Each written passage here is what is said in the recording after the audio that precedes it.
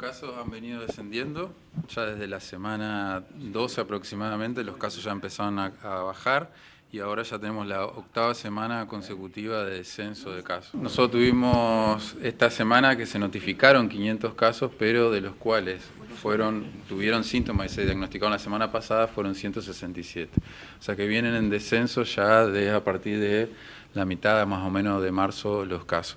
Lo que se espera es eh, eh, a partir del mes de este fin de mes o ya el mes que viene que se pueda llegar a cortar la transmisión. Entonces es muy importante hacer ahora el seguimiento, se están cambiando ahora los protocolos, ahora vuelve a ser importante hacer los laboratorios y los diagnósticos por laboratorio para confirmar, porque estamos viendo muchos pacientes que están diagnosticando clínicamente por dengue y tienen cuadros respiratorios. Entonces ahora es muy importante volver, estamos hablando con los equipos de salud, volver a hacer el diagnóstico etiológico con laboratorio para esta enfermedad porque ha disminuido muchísimo la, incidencia. Recuerden que nosotros partíamos cuando nos reunimos con ustedes con 4.000 casos semanales, pasamos a 2.000, a 1.900, la última información, y la última que da Diego, 500 casos. Lógicamente va en descenso, pensamos llegar a la primera o segunda semana de junio con un mínimo número de casos o ausencia de casos de dengue. Y aquí es muy importante.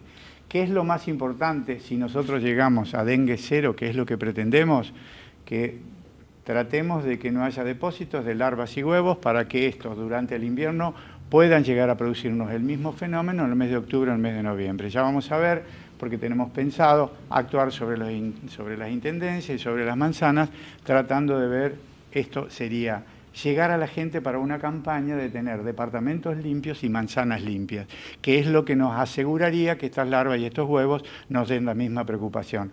Hay que recordar que si no hacemos esto, Corriente y Misiones tienen bajo número de casos, pero permanentes durante todo el año. Se va a emplear en las provincias del noreste y noroeste en determinadas poblaciones específicas que superen 4.200 casos por 100.000 habitantes para un plan de vacunación que eventualmente se produciría entre el mes de julio y agosto, recuerden que son dos dosis, en personas de 15 a 39 años en estas regiones determinadas con alto número de casos. Esto todavía no se ha tomado una decisión porque se va a revisar todos los casos al primero de junio y vamos a tener una nueva reunión.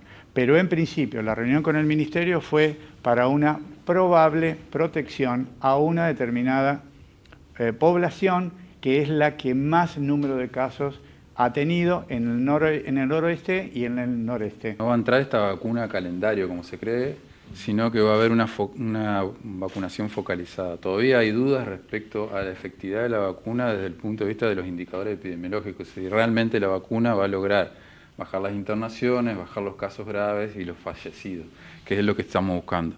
Brasil, por ejemplo, ya empezó a hacer una prueba de esta vacuna y evaluar, y se va a evaluar más adelante, realmente la efectividad que está teniendo esta vacuna.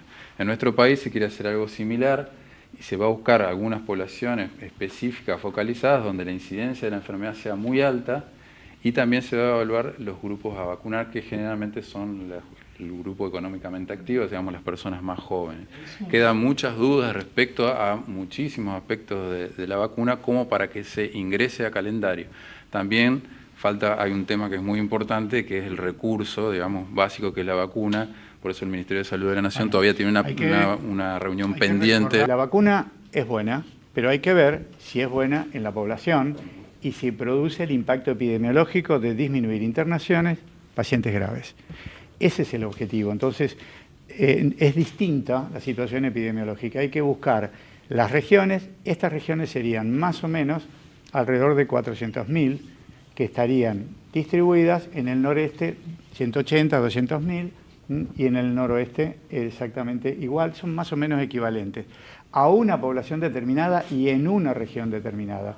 Ustedes saben que este mismo sistema, si bien no con iguales protocolos, se ha llevado adelante en provincias como Salta, Jujuy, Corrientes y Misiones, pero en principio esto sería un protocolo único de nación en, determinadas, en determinados distritos de alta incidencia.